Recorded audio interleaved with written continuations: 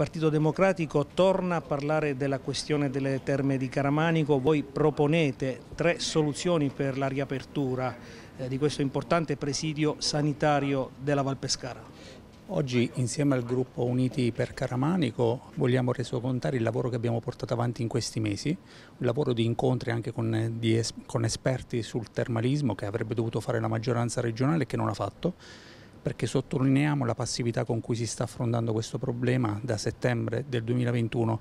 la concessionaria precedente è formalmente fallita, quindi hanno avuto anche la decadenza della concessione. Noi vogliamo proporre tre soluzioni perché siamo preoccupati dal fatto che la curatela per i costi e per i tempi necessari alla vendita sicuramente non potrà gestire le terme,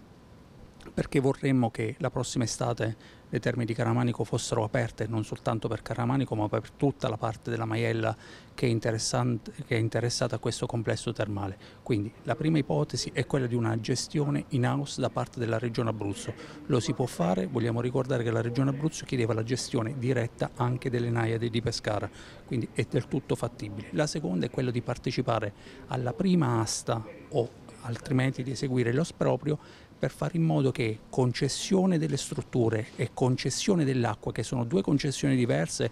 tenute da due soggetti diversi, possono essere fatte del, dalla Regione Abruzzo e rese appetibili. E la terza è la possibilità di gestire diciamo, con un partenariato pubblico-privato, ma questo dovrebbe essere sottoposto naturalmente alla curatela al giudice fallimentare, le terme. La necessità è quella che per la prossima estate le terme siano realmente in funzione.